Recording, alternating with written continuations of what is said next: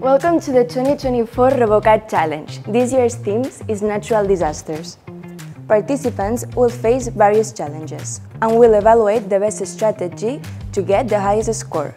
They will take on the role of rescue units to save the victims of an earthquake. Let's see.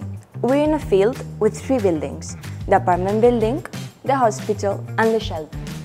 The victims of the collapse will have to be relocated according to their injuries. The red ones, the most severe, will have to be taken to the hospital. The green ones will have to go to the shelter. Because of the earthquake, the apartment building in the center of the field has collapsed.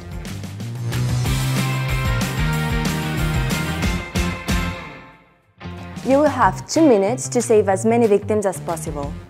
To start the match, the referee will pull one of the central pieces. This will make the building collapse, but not in the exact same way every time. As you can see, it creates different environments. There's no limitations on the software and building materials that can be used to build the robots. The maximum size of the robots will be 54 by 30 centimeters at the start of the game. This is the field for the junior category. As you can see, the building has been simplified.